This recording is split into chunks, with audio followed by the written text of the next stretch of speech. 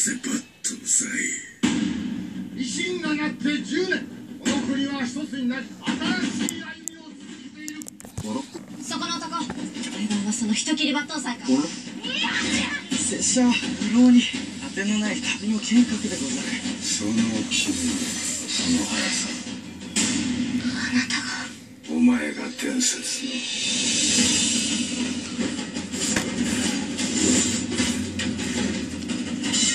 伝説の人斬り日村抜刀斎さんよ。拙者が人斬りだった。そんなの知らないわ。私が出会ったの。は謙信っていう流浪人よ。あなた人斬りだったんでしょ。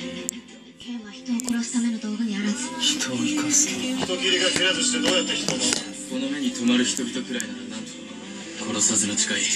酒場島だ？